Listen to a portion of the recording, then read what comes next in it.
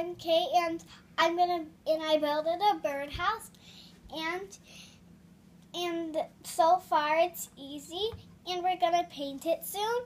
And but there's only one part that's hard, and the chimes, because when you put the string in, it's hard because the hole is so little, and so you're gonna have to make the hole bigger. So now we're gonna start the fun part, the painting.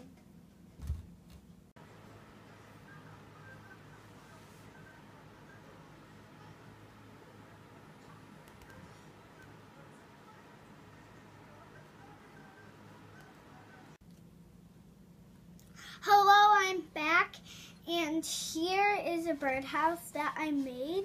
Remember how it was plain last time, but now we painted the whole thing, and I'm going to give it to my grandma and grandpa want to see it. Here's the front and the side and another side. And here's another side over here. And I give the project the thumbs up. So you should buy it for your child if you want to. But the hard part is the little hole for the chimes. You, you should make the hole from inside bigger. Thank you. Bye.